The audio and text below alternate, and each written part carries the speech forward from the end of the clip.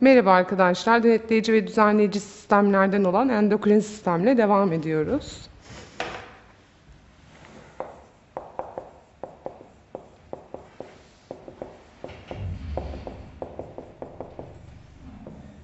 Şimdi endokrin sisteme geçmeden önce biraz bezlerden bahsedelim.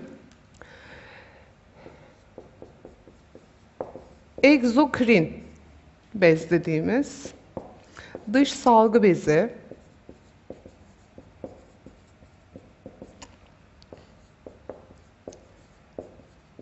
endokrin bez endo içtir, egzo dıştır. Buradan aklınızda kalsın. İç salgı bezi ve karma bez dediğimiz üçüncü bezimiz var. Şimdi unutmayalım, egzokrin bezlerde şöyle düşünün, bu bir egzokrin bez olsun. Bu egzokrin bezin bir kanalı vardır. Ürettiği salgıyı kanalla vücut boşluklarına ya da vücut dışına bırakırlar. O zaman unutmuyoruz. Egzokrin bez dediğimizde demek ki bir kanal yardımıyla ürettikleri molekülleri, e, daha doğrusu salgıları vücut boşluklarına ya da vücut dışına ne yapıyorlar? Bırakıyorlar. Zaten biz bunlara kanallı bez de diyebiliyoruz. Peki kim bunlar? Hemen düşünelim. Tükrük bezleri.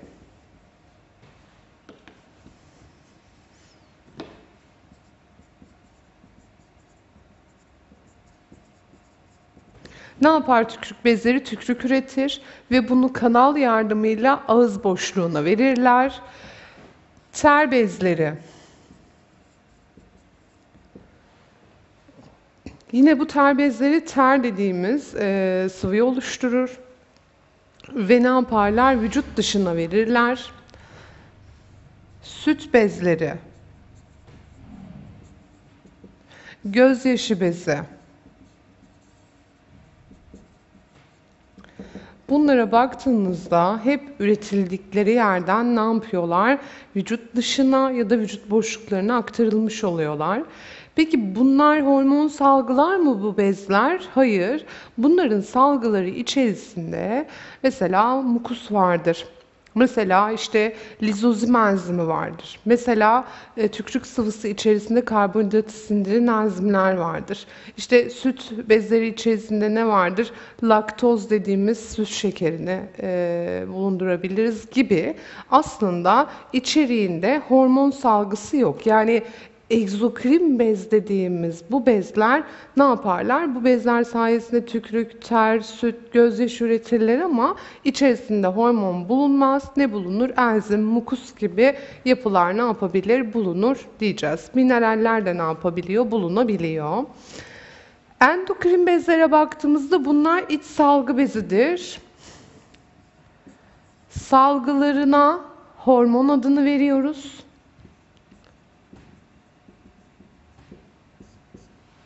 Bunlar kanalsızdır. Ürettikleri hormonları direkt ne yaparlar? Kana verir ve kanla taşınır hormonlar. O zaman Ürettikleri salgıların ismi hormondur. Hormon hücre içinde yani bezler tarafından üretilir ve kanalsızdır. Direkt biraz sonra e, hücre içine girmesini falan anlatacağım hormonların. Ne yapar? Dışarıya verilir ama nereye verilir? Buradaki kana verilir ve gideceği yere kan yoluyla ne yapılmış olur? Taşınmış olur. Ama unutmayalım hormonlar kan ile taşınır. Fakat hormonlar idrarda Tabii ki biraz önce söyledik. Kanda, terde ve doku sıvısında ne yapabilir? Bulunabilir. Taşınma işi kanla ama bu kısımlarda yani ter içerisinde bir hormonu rastlayabiliriz. Doku sıvısında bir hormon bulunabilir. İdrar içerisinde ne yapabilir? Hormon bulunabilir şeklinde söyleyeceğiz. Karma bez ise hem endokrin hem egzokrin bez özelliği gösteren e, bezlerdir. O zaman hem hormon üretecek hem de egzokrin olmakla birlikte enzim, mukus gibi e, yapıları ne yapacak? Üretecek. Şimdi karma bezleri şurada anlatırsak kimler karma bez? Hemen başlayalım. Bir pankreas. Pankreasa baktığımızda kan şekerini ayarlar, yani ayarlamak için insülin ve glukagon salgılar.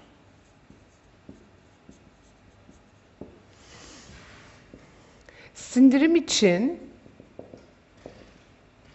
ne salgılar? Pankreas öz suyu.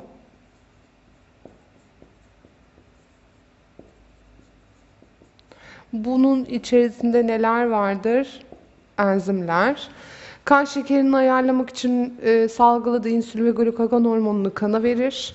E, ama pankreas öz suyunu e, Wirsung kanalı dediğimiz ince bağırsakla bağlantısını sağlayan bir kanal vardır. Bu kanala vererek 12 parmak bağırsağına boşaltılmasını sağlar. 2. Mide mesela.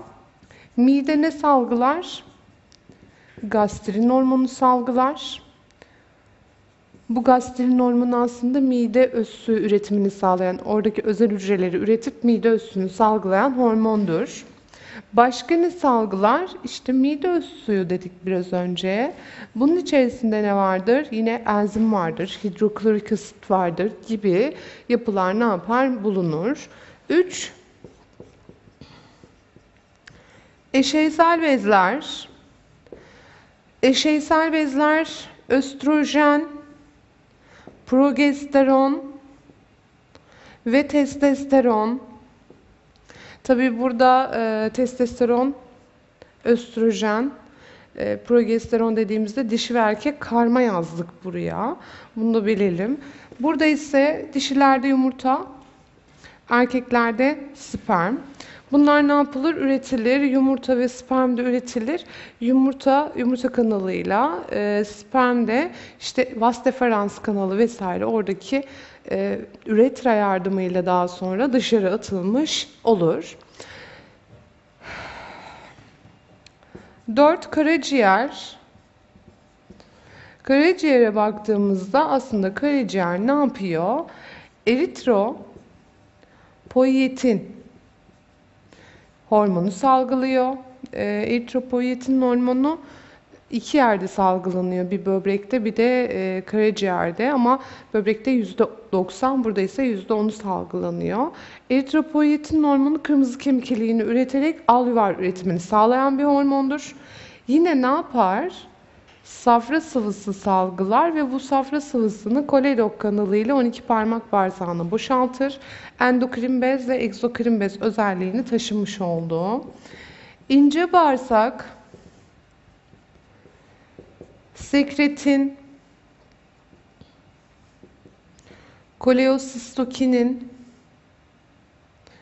koleosistokinin ve enterogastrin denilen 3 hormon salgılıyor. E, bunların farklı farklı görevleri var. Sindirimde de bunları anlatacağız. Bir de ne salgılar? İnce bağırsak öz salgılar. Ve bunun içerisinde de yine maltaz, sükraz, laktaz gibi e, özel enzimler yani sindirimi sağlamak amaçlı özel enzimler ne yapabilir? Bulunabilir. Karma bezleri bu şekilde ne yapabiliriz? Çeşitlendirebiliriz. Evet bezlerle ilgili anlatacaklarımız bunlar. E, bezlerde aslında unutmayın epitel doku dediğimiz dokudan oluşmuştur. Epitel dokuya da daha sonra duyu organlarını anlattığımızda ona da değineceğiz.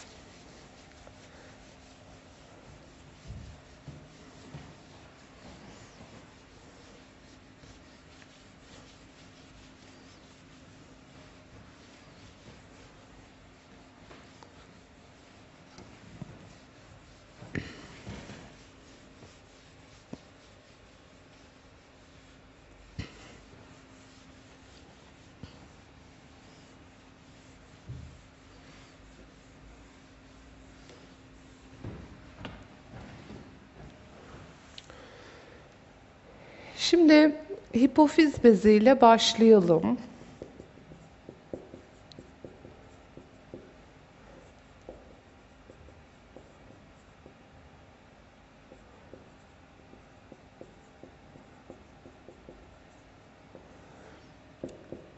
Hipofiz bezi e, yine ara beyin dediğimiz hipotalamus, talamus ve e, epitalamusun bulunduğu kısım.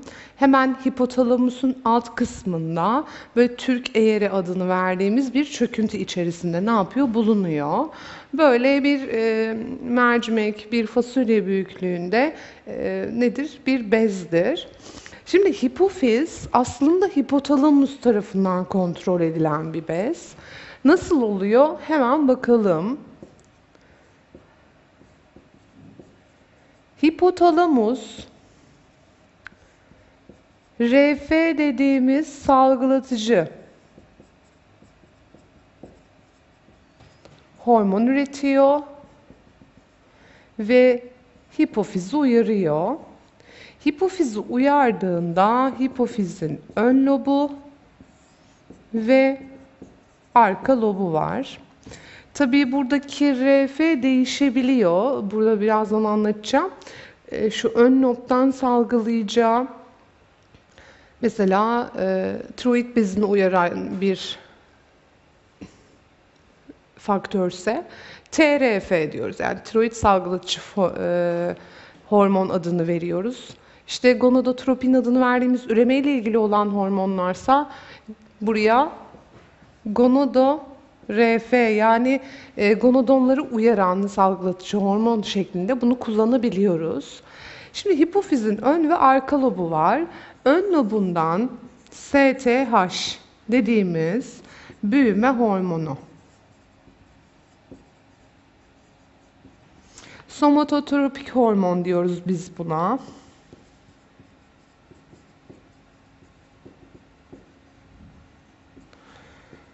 Başka ne var? TSH ya da TUH da diye çıkabiliyor bazen. Tiroid stimüleyici hormon ya da tiroid uyarıcı hormon şeklinde söyleyebiliyoruz. FSH ya da FUH folikül stimüle hormon ya da folikül uyarıcı hormon şeklinde de açabiliyoruz. LH lüteinleştirici hormon. LTH dediğimiz prolaktin ya da PRL şeklinde de söyleyebiliyoruz. Lüteotropik hormondur bu da. MSH melanin stimüle edici hormon ve ACTH dediğimiz adrenokortikotropik hormon. Ön lobdan salgılanan bu hormonlar aslında unutmayalım hipotalamus, RF dediğimiz bu salgılatıcı e, hormonla ya da salgılatıcı faktörle hipofizi uyarır ve ön lobdan hangisine ihtiyacımız varsa o hormonları bize ürettirir. O zaman bunlar hipofiz tarafından üretilir.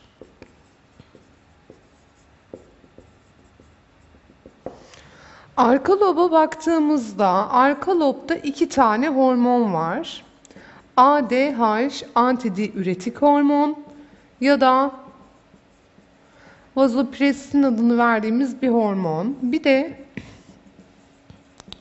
oksitosin adını verdiğimiz ikinci bir hormon. Arka lobdaki hormonları hipofiz kendisi üretmez. Ne yapar? Hipotalamus bunları üretir ve buradan ne yapar? Arka loba gönderir ve burada depo edilir. Gerektiğinde kana salınarak ne yapılmış olur? Ee, aslında bu hormon kana verilmiş olur. O zaman arka lobdaki hormonları hipotalamus üretir ve hipofizin arka lobuna göndererek burada depo edilir. Gerektiğinde de ne yapılır? Kana verilerek e, işlevlerini yerine getirmiş olurlar. Şimdi gelelim STH dediğimiz büyüme hormonu ile başlayalım. Bunlar ne iş yapıyor? Genelde e, tabii bunların özel görevleri de var ama genelde burada bazı hormonlar bir yerlerin, bir e, vücudumuzda bulunan herhangi bir kısmın tabii onlara özel olan kısmın uyarılmasını ve buradan hormon üretilmesini sağlıyor. Genelde bakın tiroid stimüle ya da tiroid uyarıcı hormon dediğimizde demek ki tiroid bezini uyarmakla alakalı bir görevi var. FSH dediğimizde folikül uyarıcı hormon yani foliküllerin uyarılması gibi bir göreve sahip olabiliyor. O zaman ön lobdan salgılanan bu hormonlar ne yapıyor? Bir yerleri uyararak e, oralardan hormon üretilmesini sağlamış oluyor. Şimdi gelelim STH dediğimiz somatotropik hormon ya da büyüme hormonu dediğimiz bu hormonla başlayalım. Adı üstünde büyüme hormonu. Yani e, bebe şeyde çocukluk döneminde ya da gençlik dönemi dediğimiz büyüme döneminde aslında ne yapıyor? Büyümeyi sağlıyor. Nasıl yapıyor bunu? Kemik, kas gibi kısımları uyararak neyi sağlıyor? Burada büyümeyi sağlıyor.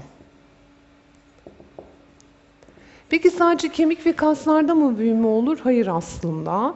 STH e, genel anlamda kemik ve kas hücrelerini uyarıp burada mitozu hızlandırıyor. Bunların e, büyümesini sağlıyor ama STH genel anlamda vücudun birçok bölgesini uyarır ve ne yapar? Mitoz bölünmeyi hızlandırarak e, o bireyde büyümenin gerçekleşmesini sağlar. Yine ayrıyeten protein metabolizmasını düzenler. O zaman şöyle diyoruz. Vücudun vücudu uyararak mitozu hızlandırır. Daha çok kemik ve kas hücrelerinde ne yapıyor? Mitoz ile birlikte büyümeyi sağlamış oluyor. Şimdi eğer ki gelişme döneminde yani büyüme döneminde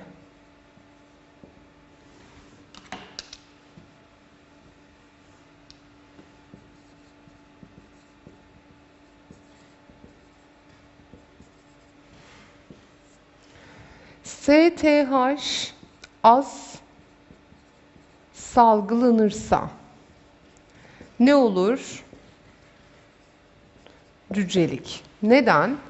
Hücreler az uyarılacak, mitoz bölünme az olacak ve büyüme ne olacak? Gerileyecek. Bu nedenle de burada cücelik dediğimiz olay oluyor.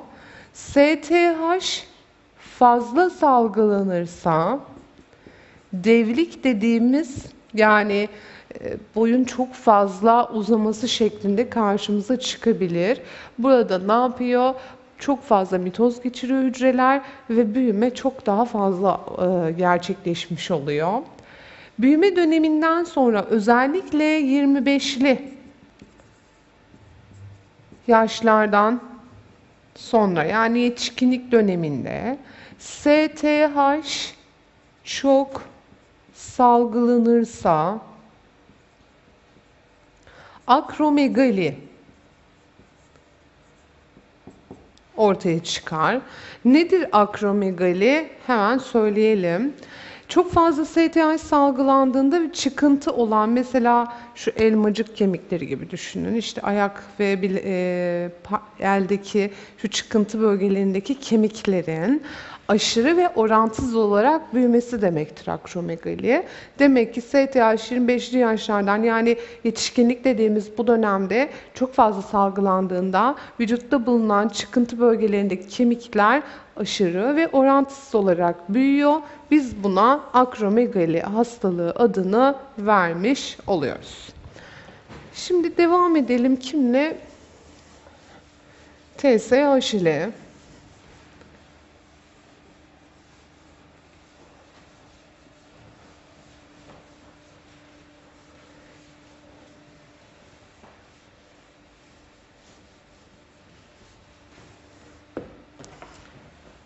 Tiroid, stimüle edici hormon yani tiroid uyarıcı hormon.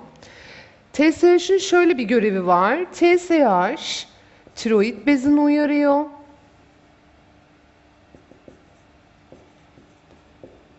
Bezini uyararak tiroid bezine tiroksin hormonu salgılatıyor. O zaman TSH'in görevi tiroid bezini uyarmak ve bunun sonucunda da tiroksin adını verdiğimiz hormonu ürettirmekmiş. FSH folikül uyarıcı hormon. Şimdi dişi ve erkeklerde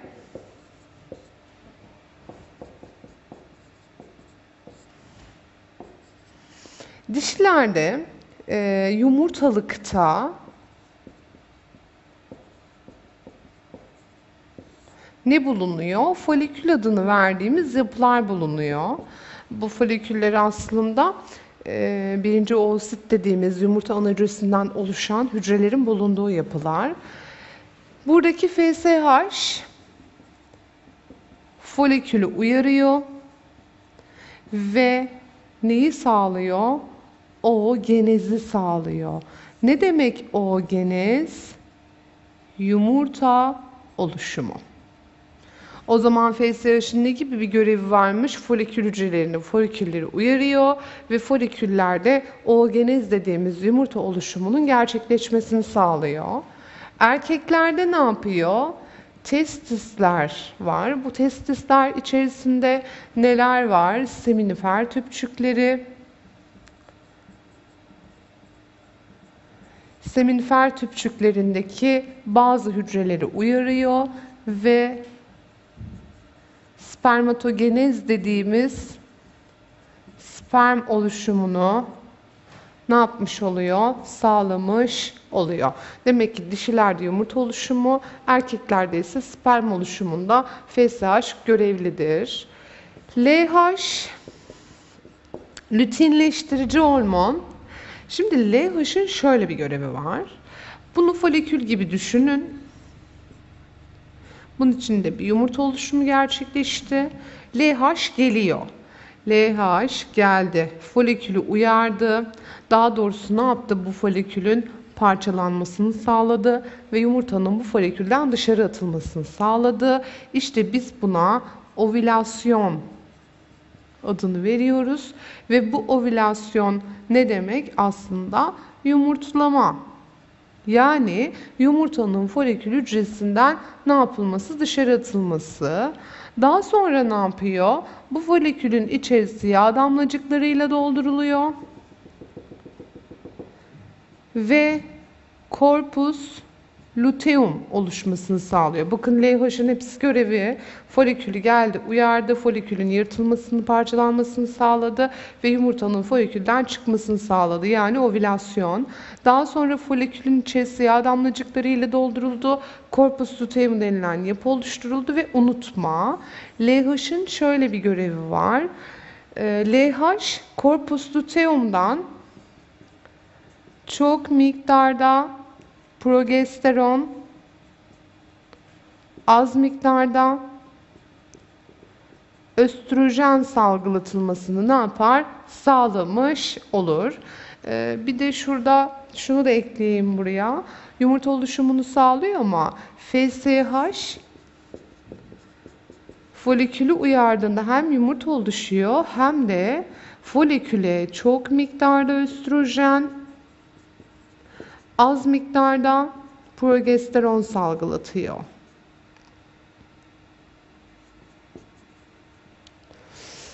Peki erkeklerde ne yapıyor? Erkeklerde şunu yapıyor. Burası dişi. Yine seminifer tüpçüklerinde Leydig denilen hücreler var.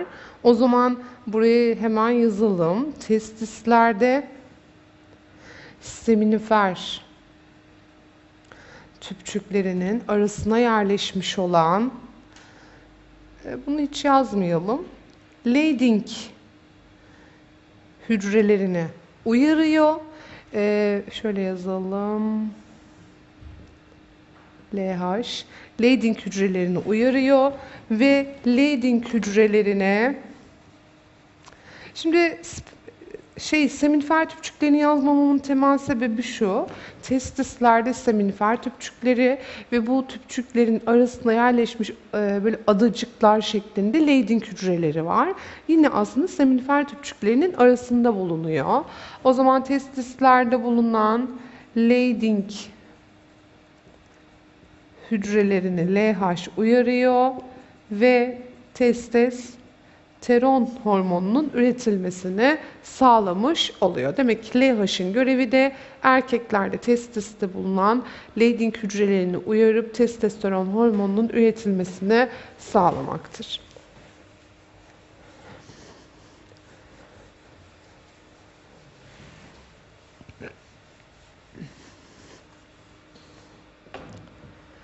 LTH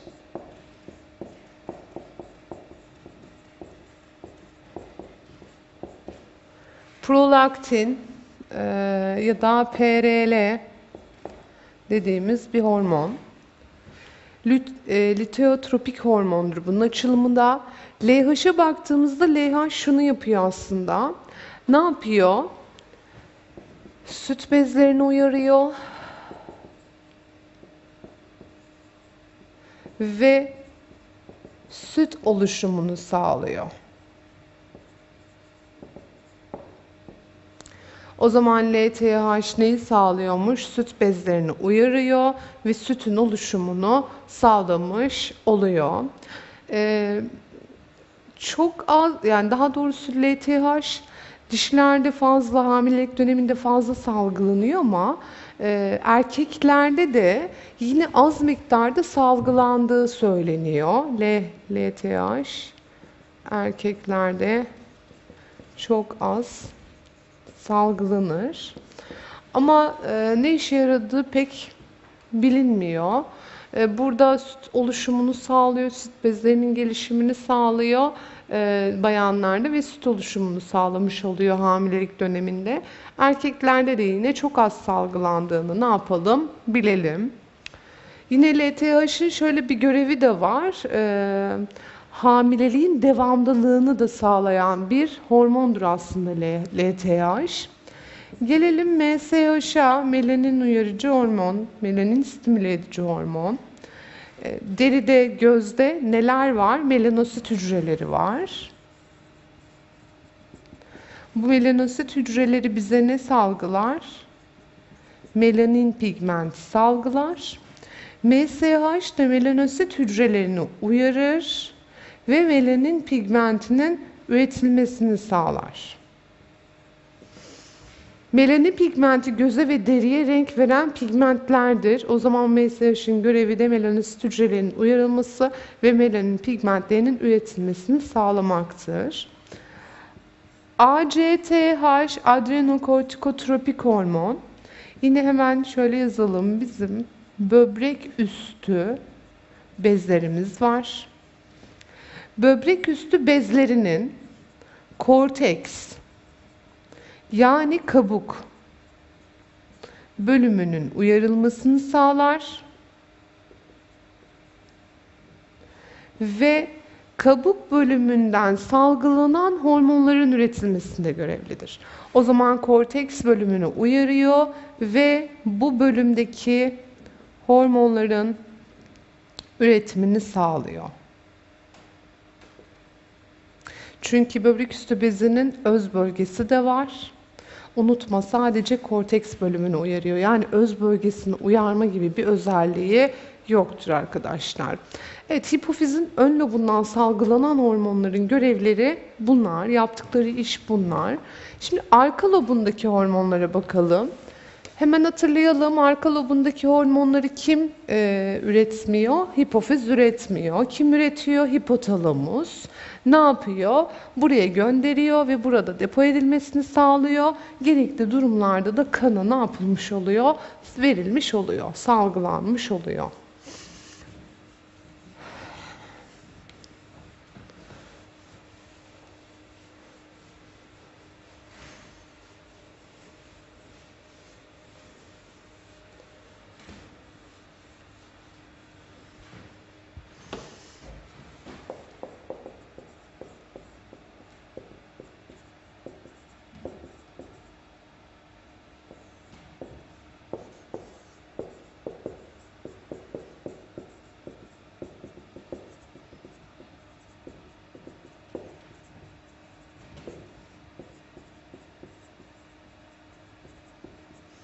ADH antidiüretik hormon ya da vazopresin.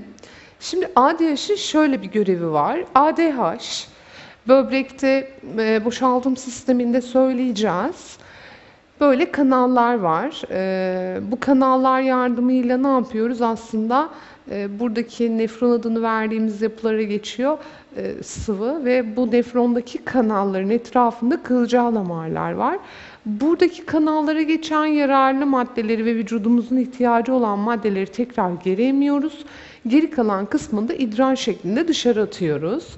İşte ADH'in şöyle bir görevi var. Şöyle kanalları düşünürsek, sadece örnek olarak bunu çiziyorum. Bunların etrafında da kılcal damarlar var. Ve şöyle düşünün, kılcal damarlara gerekli olan ve ne yapıyoruz? Yararlı olan maddeleri veriyoruz. Bunun içerisinde tabii ki sıvı var. Ve buradan biz daha sonra neyi sağlayacağız? İdrarı sağlayacağız geriye kalan e, buradaki sıvıyla. Şimdi şöyle düşünelim. Biz bu kanallara verdik e, kandaki su, e, amino asit, glikoz vesaire gibi maddeleri. Buraya geldiğinde ADH ne yapıyor? Buradaki kanalları uyarıyor ve burada bulunan suyun şuradaki kılcal damarlara geri geçmesini sağlıyor.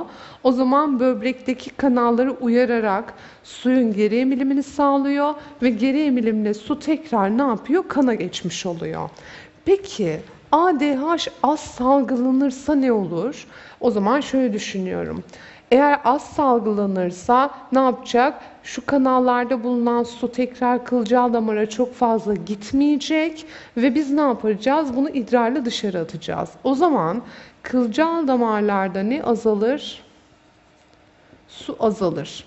Su azalırsa kanda ozmotik basınç ne yapar? Artar. Ozmotik basınç nedir? Madde basıncı. Burada bir madde var. Su aldıkça biz bu basıncı azaltıyoruz. O zaman su azaldıkça da madde basıncı ne yapacaktır? Artacaktır. Ozmotik basınç ne yapacak? Artacak. Ve idrarla çok fazla su dışarı atılacak. İdrar nasıl olacak? Seyreltik olacak şeker hastası olmadığımız halde yani idrarda glikoz bulunmamasına rağmen biz vücudumuza suyu tekrar kazandıramadığımız için vücut su kaybetmiş olur ve idrar çok fazla su bulundurduğu için mesane hemen dolar, sık sık tuvalete çıkma eğilimi gösteririz ve ağızda kuruluk vesaire oluşur ve biz bu hastalığa şekersiz diyabet yani aslında şekersiz şeker hastalığı adını veriyoruz. Yani ADH'ın eksik salgılanmasından dolayı. İkinci hormonumuz oksitosin. Oksitosin de yine e, şunu yapıyor. LTH'lı sütü oluşturduk. Oksitosin ise göğüsteki kasların kasılmasına ve sütün dışarı çıkarılmasını sağlıyor. Bu bir. İkincisi ise e, doğum sırasında ne yapıyor? Kasların kasılmasını sağlıyor. Kasılıp gevşeme hareketi yapıyor. Oradaki e, uterus ve rahim dediğimiz kıs, e, şey, e, rahim dediğimiz kısımda ne yapıyor? Buradaki kasılmalar başlayınca doğum başlıyor ve sancı ortaya çıkıyor. O zaman oksitosin kasların kasılmasıyla alakalı bir görevi var. Hem sütün dışarı çıkmasını hem de doğumdan kısa bir süre önce salgılanarak hem sancının oluşmasını sağlıyor hem de neyi sağlamış oluyor arkadaşlar? Doğumun gerçekleşmesini sağlıyor. Doğum yapamayan, sancı oluşmayan bireylerde de oksitosini ne yapıyorlar? E, suni olarak vererek suni sancı oluşmasını sağlamış oluyorlar. Bir de e, yapılan çalışmalar sonucunda oksitosinin şöyle bir görevinin olduğunu düşünüyorlar. Karşısındaki insanla, mesela karşımızdaki insanlarla e, empati kurmamız yani daha doğrusu şöyle düşünelim. Karşımızda bir insan var, empati kuruyoruz. Empati kurduğumuzda aslında oksitosin salgısı artıyor ve bu sayede de karşımıza güven duygusu artıyor. Yani oksitosin güven duygusunun arttırılmasında da, güvenin oluşturulmasında da yine oksitosinin görevli olduğu düşünülüyor. Evet, hipofiz bezini anlattık. Şimdi gelelim tiroid bezine.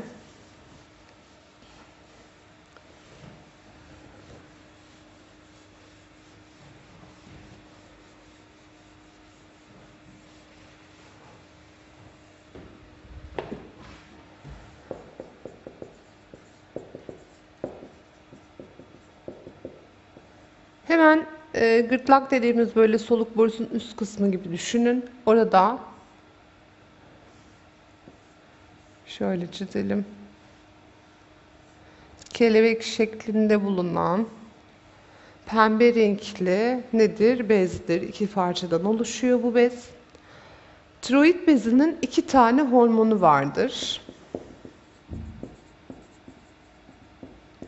Bir troksin, diğeri ise kalsitonin. Troksin hormonu kimle salgılanır? Hipofizin TSH salgısı gelir burayı uyarır ve troksin üretir. Kalsitoninin hipofizde üretilmesi mümkün değil. Çünkü bu kandaki kalsiyum düzeyiyle artıp çoğalan nedir? Bir hormondur. O zaman hipofizden salgılanan TSH sadece tiroidden neyi salgılatıyor? Troksin hormonunu salgılatmış oluyor. Şimdi bazı hastalıklar var ve e, troksinin görevleri var. Biraz bunlardan bahsedelim. Şimdi troksine baktığımızda troksin vücudumuzdaki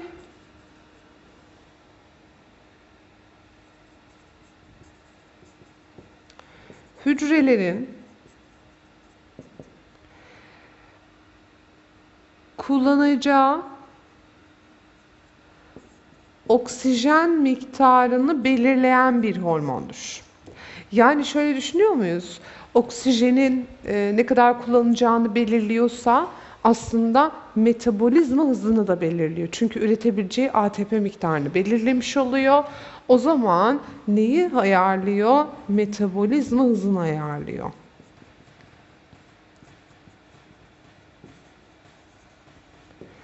Ve yine unutmayalım protein e, metabolizmasını da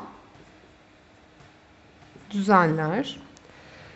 Troksin etki alanı en geniş hormonlardan bir tanesidir. Vücudumuzdaki hemen hemen bütün hücrelerin uyarılmasını ne yapıyor? Sağlamış oluyor. Yine STH'da da ne yapıyor? Bütün hücreler uyarılıp burada bölünme arttırılıyordu.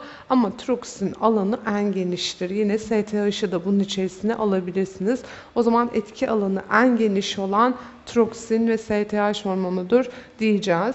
Şimdi gelelim Şöyle bir hipotalamus. Ne yapıyorduk? Buradan salgılatıcı faktör salgılıyorduk.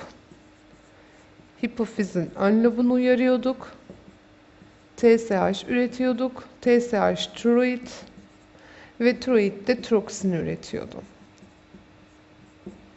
Şimdi burada eğer kanda tiroksinin miktarı az ya da çoksa buraya göre biz ne yaparız? Hipotalamus hipofiz uyarılarak buradaki tiroksinin miktarını ayarlayabiliriz. Fakat şöyle düşünelim. İyot eksikliğinde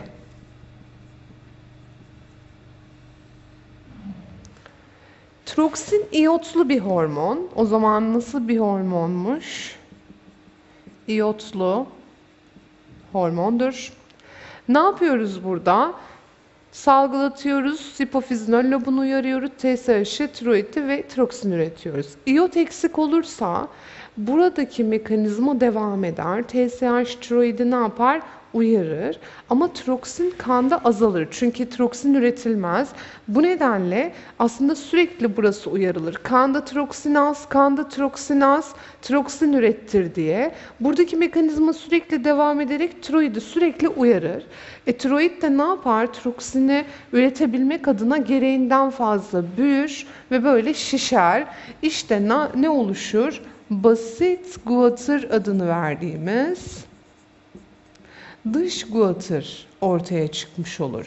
Demek ki burada iot eksikliği sonucunda tiroid bezinin tiroksini salgılayabilmek için gereğinden fazla çalışıp büyümesi basit ya da dış guatr hastalığını ortaya çıkarmış oluyor. Yine şey baktığımızda e, büyüme ve gelişme döneminde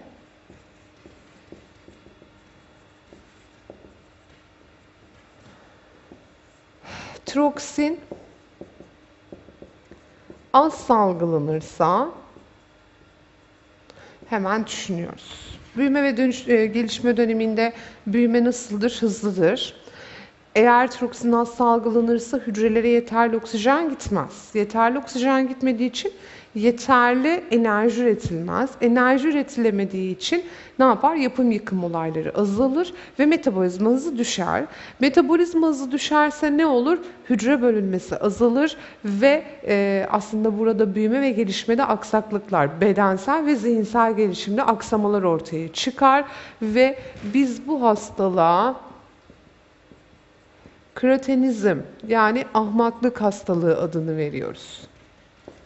Ne yapıyormuş? Ee, bedensel ve zihinsel gelişimde aksamalar ortaya çıkıyor ve bunun sonucunda mitoz bölümü hızlandığı için aslında boy kısa kalıyor ve burada ne ortaya çıkıyor? Cücelik ve zeka geriliği görülebiliyor. Yetişkinlik döneminde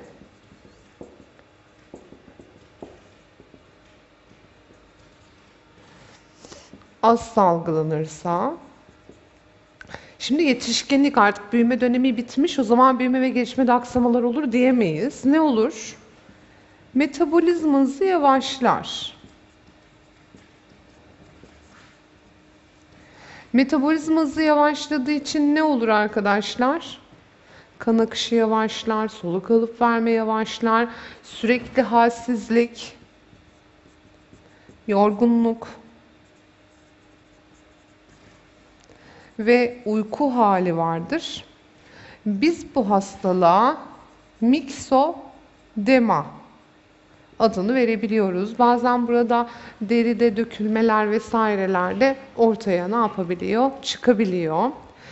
Eğer troksin çok salgılanırsa yine troksin çok salgılanırsa bu defa bakın nasıl salgılayacağız? Çok. Hemen buraya dönüyoruz. Hücrelere çok oksijen gitti. Çok oksijen gittiği için ne olacak? Metabolizmamız artacak. Bu nedenle de kalp atışı, ellerde titreme ne yapıyor? Sürekli bir sinirlilik hali e, ortaya çıkıyor. Gözler dışarıya doğru çıkabiliyor ve biz bu hastalığa ne diyoruz? İç guatr yani zehirli guatr ya da graves adını da verebiliyoruz. Burada da troksin e, işte zayıflama oluyor mesela çok hızlı bir metabolizmaya sahip olduğu için bu bireyler ne yapabiliyor? Zayıflayabiliyor. Kalp atışı sürekli ellerde titreme, sinirlilik hali ve zayıflama gibi olaylar ortaya çıkıyor. Kan basıncı yüksektir dedik. Ve gözler dışarıya doğru ne yapabiliyor? Çıkabiliyor. Evet burada troksinin az salgılanması, çok salgılanması, büyüme döneminde nasıl e, hastalıkların ortaya çıktığını söyledik.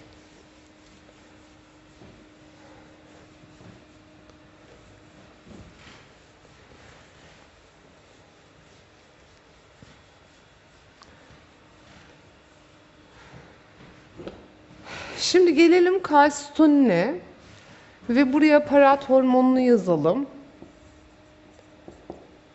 Paratiroid bezi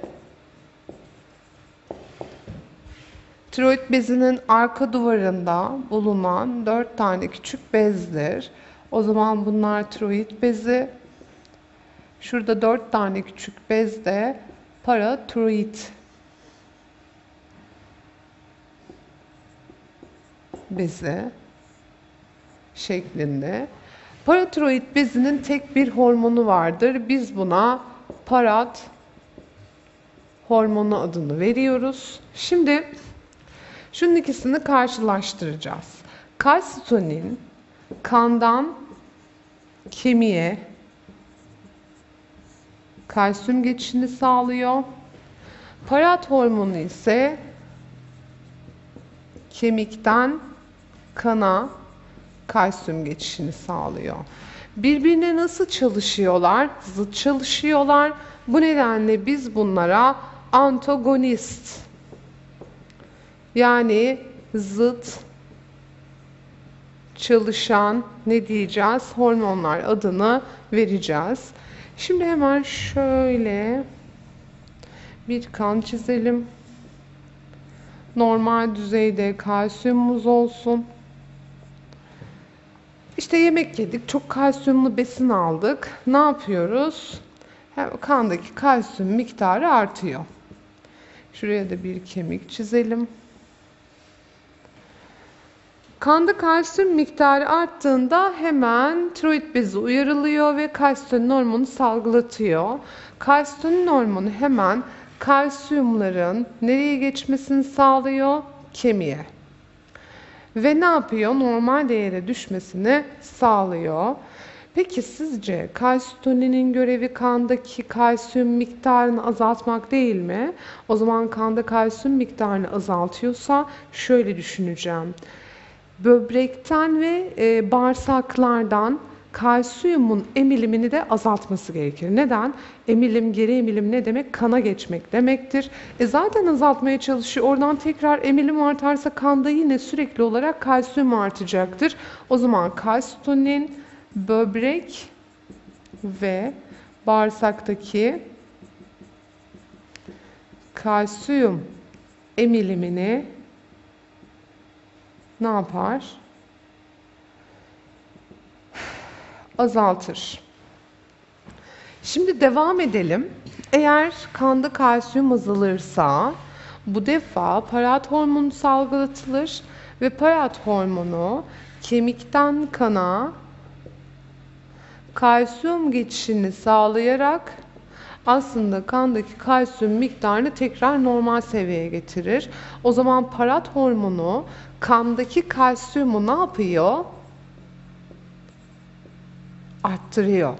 Arttırması için yardıma ihtiyacı var. Kimden?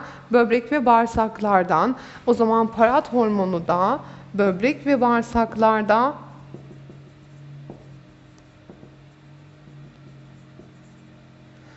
böbrek ve bağırsaklarda kalsiyum emilimini arttıracak ki kandaki kalsiyumu ne yapsın? E, arttırmış olsun. Ayrıca paratiroid bezinden salgılanan parat hormonu fosfat dediğimiz ya da fosforun da ne yapılıyor? E, atılımını yani emilimde bir azalma yapıyor fosfatın. Şimdi gördüğümüz gibi tiroid bezinden salgılanan kalsitonin ile paratiroid bezinden salgılanan parat hormonu ne yapıyorlar? Kalsiyum düzeyini ayarlıyorlar ve birbirine zıt çalışıyorlar. O zaman kalsitonin ve parat hormonu kandaki kalsiyum miktarına göre ne yapıyor? Artıp azaltılabiliyor. Yani bunların salgılatılması, düzeylerinin artıp çoğalması nedir? Kandaki kalsiyum miktarına bağlıdır. Yani hipofiz beziyle ne yapılmaz? Kontrol edilmez. evet. Şimdi tiroid bezi ve paratiroid bezini de ne yaptık? Anlatmış olduk. Bir de şey söyleyelim. Eksik olursa ne olur ne olmaz diye. Kalsitonin hormonu eksik olursa kanda kalsiyum miktarı artar. Böbreklere çok fazla kalsiyum gider. Orada kalsiyum diğer minerallerle birleşip böbrek taşını oluşturur. Parat hormonu çok olursa yine kana çok fazla kalsiyum geçeceği için kandan böbreklere giden kalsiyum miktarı artacak ve böbrek taşlarının oluşumu sağlanacak. Kalsitonin hormonu azalırsa kandan kemikleri kalsiyum az geçeceği için ne olacak? Kemiklerde yumuşama meydana gelecek. Yine kalsiyum miktarı azalırsa, şey pardon parat hormonu azalırsa ne olur? Pardon artarsa buraya giderse burada yumuşama olur. Peki parat hormonu azalırsa ne olur? E, kalsiyum miktarı çok fazla birikecektir ama kanda kalsiyum azalacak. Bu defa kas, kaslara giden kalsiyum miktarı da azalmış olacak. Kaslarda ağrılı kasılmalar ne yapabilir? Ortaya çıkabilir. Parat hormonunun az salgılanmasından dolayı.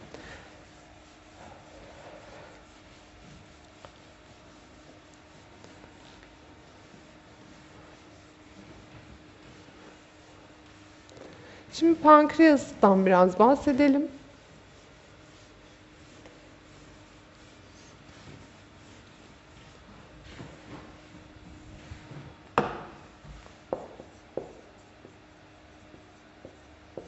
Pankreas nasıl bir bezdi? Karma bir bezdi. Ee, hem hormon salgılayabiliyordu hem de sindirim için ne yapıyordu? Sindirim, pankreas özüsü yani enzimler salgılıyordu. Pankreasın Langerhans adacıkları dediğimiz bir bölümü var, hücre topluluğu var. Burada beta hücreleri ve alfa hücrelerimiz var. Beta hücrelerinden insülin, alfa hücrelerinden ise glukagon salgılanır. Şimdi unutmayalım insülin ve glukagon aslında kandaki kan e, şekerinin düzeyini belirliyor. İnsülin kandaki şekeri yani glikozu ne yapar? Azaltır. Glukagon ise kandaki şekeri arttırır. Nasıl çalıştılar birbirlerine? Zıt yani antagonist çalıştılar. Şimdi hemen gelelim e, nasıl bir işlem gerçekleştiriyorlar.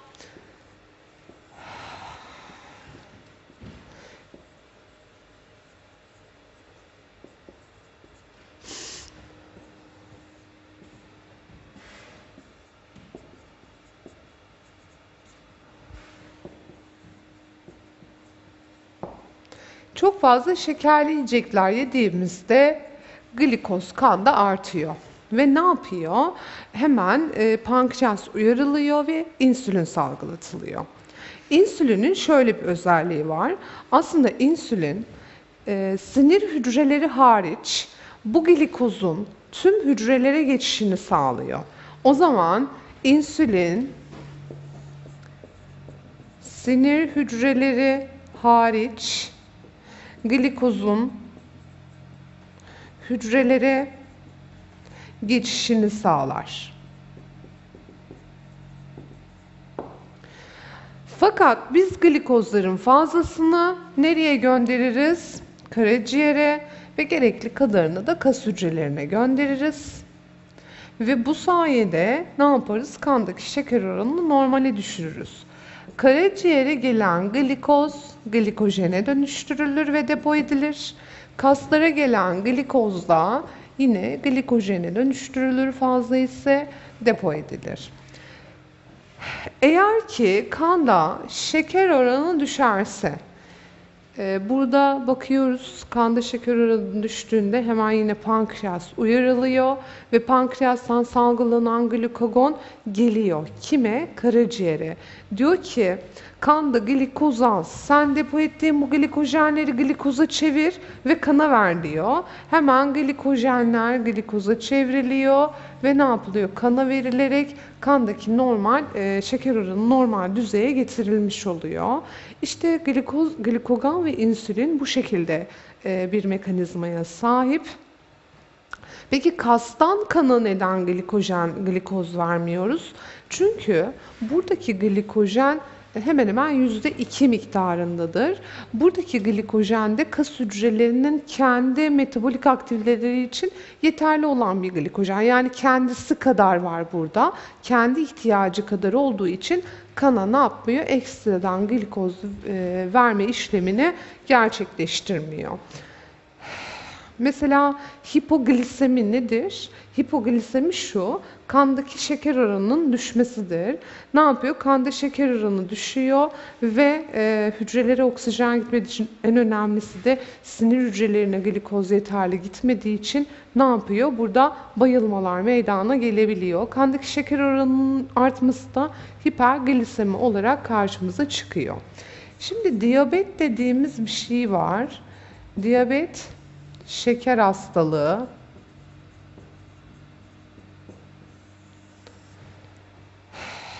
şeker hastalığında kanda sürekli glikoz oranı artar. Ee, insülin yeterli salgılanamadığı için e, insülini üreten şu hücrelerin zarar görmesi sonucunda ne yapıyor? Ee, insülin üretilemiyor ve kanda şeker oranı sürekli artıyor ve hücrelere yeterli oksijen, şey, glikoz gitmiyor. E, hücrelere yeterli glikoz gitmezse ne olur? Bu defa hücreler glikoz yani karbonhidrat yerine yağları, yağ asitlerini ya da amino asitleri kullanmaya başlarlar. Bu defa kanda yağ asitleri kullanıldığı için asitlik oranı artar. Bakterilerin yani mikroorganizmaların üremesi için aslında önemli bir ortam oluşturulmuş olur ve bunun sonucunda da e, enfeksiyon riski artar çünkü proteinler de enerji verici olduğu için bağışıklık sistemi yavaş yavaş düşer. Herhangi bir yaralanma durumunda da yine proteinler enerji verici olarak kullanıldığı için yaralar ne yapılmaz? Daha doğrusu onarılır ama daha uzun sürede onarımı gerçekleşebilir. İşte biz buna ne diyoruz ve kanda ne yapıyoruz? Glikozu hücreleri geçiremediğimiz için idrarla birlikte e, glikozu dışarı atmış oluyoruz. İşte biz bu hastalığa diyabet hastalığı adını veriyoruz. Aslında diyabet tip 1 diyabet, tip 2 diyabet diye ayrılır. Biraz önce söylediğim Şuradaki insülin üreten hücrelerin zarar görmesi sonucunda oluşur, kalıtsaldır. Çocukluk dönemiyle e, döneminde aslında başlayan, görülebilen bir hastalıktır. Tip 2 diyabet ise e, şöyle düşünün, insülin vardır. Ama biz ne yapıyoruz insüline diyoruz ki e, insülin glikozları işte karaciğere ve hücrelere gönderiyor. Bu glikozun buralara geçebilmesi için insülinin bu karaciğere gelip bağlanması gerekir. Yani burada reseptörler var bu hormonu tanıyan. Hormonu tanıdığı için glikozların geçişini sağlar. Tip 2 diyabette de işte bu reseptörler zarar görmüş oluyor. Bu nedenle de insülin olmasına rağmen glikoz yine hücrelere geçemiyor. Burada da genelde ileriki yaşlarda böyle beslenme bozuklukları sonucunda ortaya çıkabilir. Tip 2 diyabet yani 40'lı yaşlardan sonra ortaya çıkabiliyor ama 40 yaşın öncesinde de yine bazı bireylerde görülebiliyor. Bu dediğim gibi insülinin üretilememesi, beta hücrelerinin zarar görmesi, tip 2'de de insülin vardır. Fakat reseptörler zarar gördüğü için insülin tanınmadığından glikoz hücrelere ne yapmıyordur? Geçemiyordur. Evet, pankreasla ilgili anlatacaklarımız bunlar.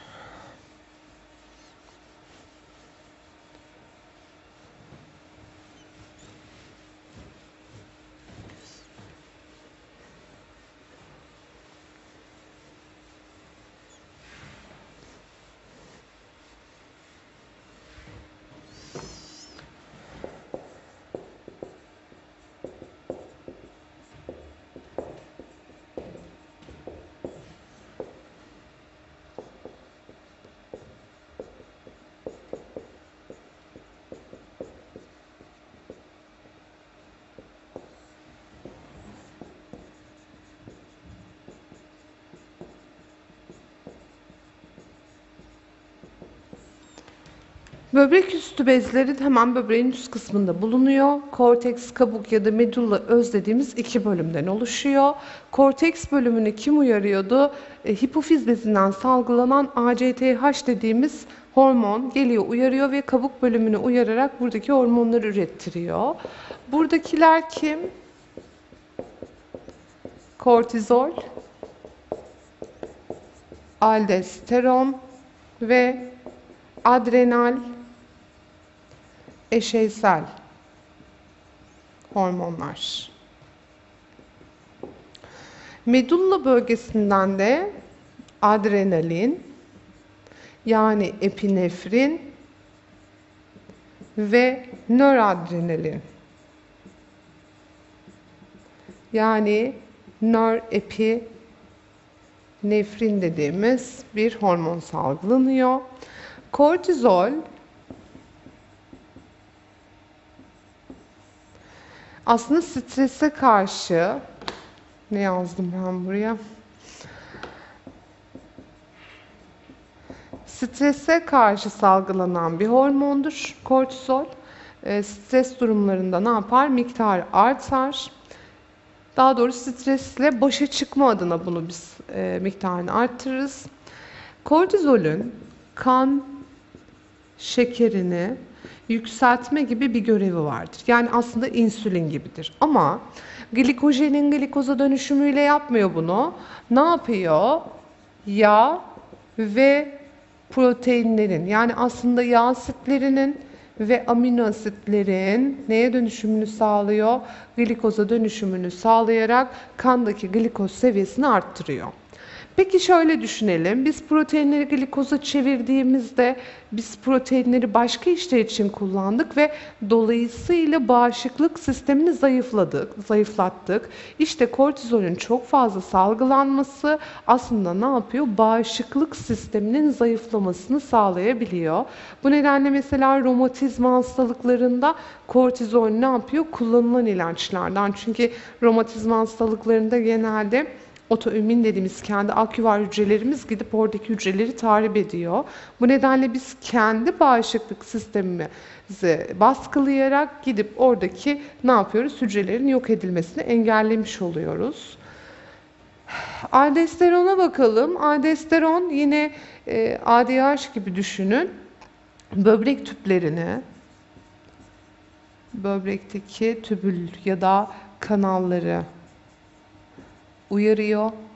Sodyum ve potasyumun emilimini pardon sodyum ve klorun emilimini potasyumun atılımını sağlıyor.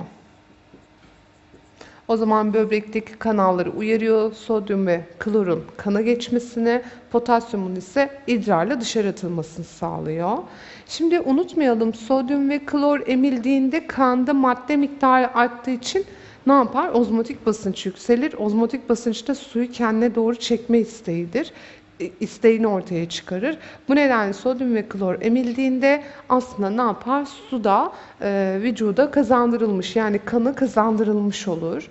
Aldosteron hormonu az salgılanırsa ne olur? E, kandaki ozmotik basınç ne yapar? düşer. Vücuda su geçmez, su miktarı azalır. Vücutta yorgunluk, halsizlik gibi deride tunç rengi denilen rengin ortaya çıkması dediğimiz adiston hastalığı ortaya çıkabilir.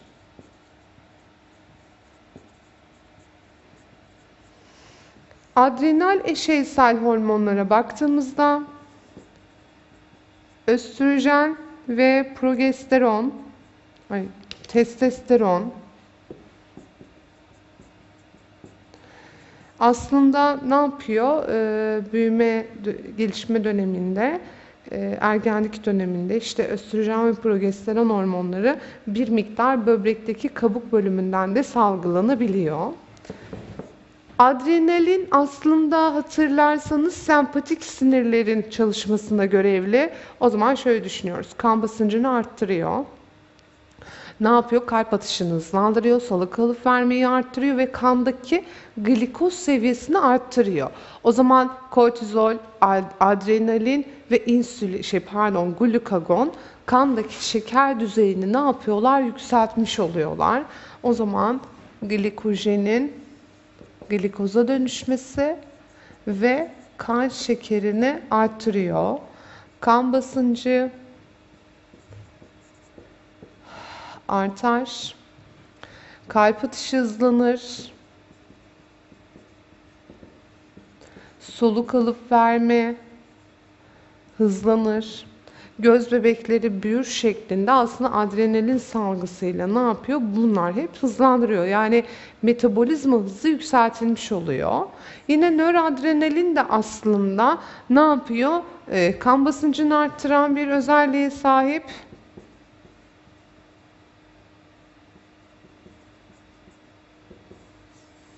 Kan basıncını arttırıyor. Yine şeker oranını arttırıyor. Ve e, ne yapıyor? Burada işte kan basıncı artarsa kalp atışı hızlanabiliyor şeklinde söyleyebiliriz. Adrenalinle nöradrenalin e, zıt çalışmıyor. Bakın ikisi de kan basıncının arttırılmasını ne yapıyor? Sağlamış oluyor. Evet şimdi gelelim eşeysel bezlere.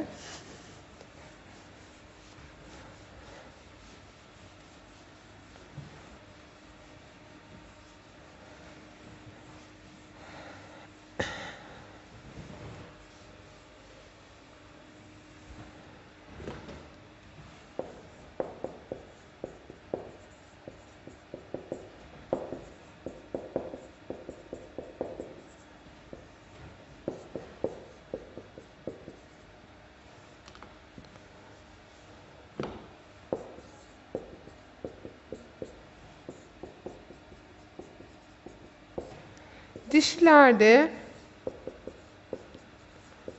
östrojen ve progesteron, erkeklerde ise testosteron. Östrojen, unutma, dişilerde ikincil özellik dediğimiz yani dişilere ait özelliklerin ortaya çıkmasını sağlarlar. Bir de bizim menstrüel döngü dediğimiz her ay gerçekleşen dişilerde döngüde östrojen hormonu ne yapıyor? Biraz önce söylemiştik folikülden çok miktarda, e, korpus luteum'dan da az miktarda salgılanıyor. Eğer bir döllenme olmuşsa buradaki uterus duvarını e, mitoz bölünmeyi arttırıyor ve buradaki uterus duvarının yani e, göl yatağı dediğimiz rahim kısmının iç kısmının e, kalınlaşmasını ne yapıyor? Sağlamış oluyor. Progesteron ise şunu sağlıyor. Uterus duvarındaki kasılmaları engelliyor. Artı uterusun iç kısmında mukus salgısını arttırıyor ve burayı süngerimsi hale getiriyor. Ve uterustaki kasılmaları engelleyerek progesteron hamileliğin devamlılığını sağlıyor. Progesteron azalırsa ne olur? Kasılma başlar ve düşük dediğimiz olay gerçekleşir.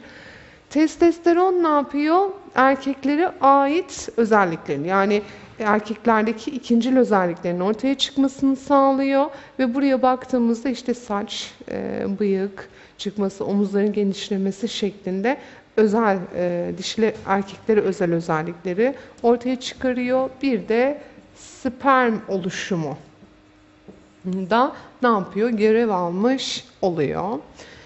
Şimdi timus bezine bakalım. Bir de neye bakalım? Epifiz bezi ve bitirelim sonra. Timus bezi hemen şu göğüs boşluğunda bulunuyor ve bu göğüs boşluğunda e, aslında timozin denilen bir hormon üretiyor. Timus bezi önce küçüktür, sonra ne yapar? Büyür ve belli bir süre sonra tekrar küçülmeye başlar. Ama stres timus bezini ne yapar? Daha çok e, küçülten bir olaydır. Çok stresli insanlarda timus bezi daha erken yaşlarda küçülebilir. Timozin hormonu aslında timus bezini uyarıyor ve T lenfositi adını verdiğimiz bağışıklık sağlayan hücrelerin üretilmesini sağlıyor. O zaman aslında timus bezi bağışıklık sistemini ne yapıyor? Gerçekleştirmiş oluyor. Bağışıklık sisteminin bir parçası oluyor ve T üretiyor bizim için. Ve vücudu da aslında kansere karşı korumuş oluyor timus bezi. Epifiz bezine baktığımızda epifiz bezi melatonin hormonu salgılıyor. Melatonin hormonu göze gelen ışık ile ters orantılı olarak salgılanır. Yani aslında geceleri